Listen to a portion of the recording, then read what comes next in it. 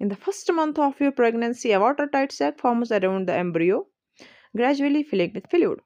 This is called the amniotic sac, which helps cushion the growing embryo.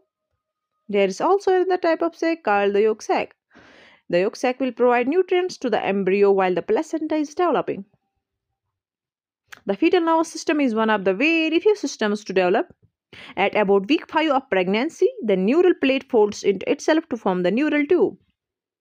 The neural tube is a hollow structure of tissue which later develops into the brain and spinal cord. In the same week, the preliminary structures that will become your baby's heart begin spontaneously pulsing. Blood cells are taking shape and circulation will begin. The tiny heart tube now beats 100 times a minute.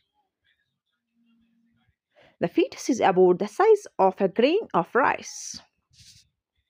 Facial structures continue to develop. Ear begins as a little fold-up bud on the sides of the ear and tiny buds that eventually grow into arms and legs. Bone also starts to replace cartilage.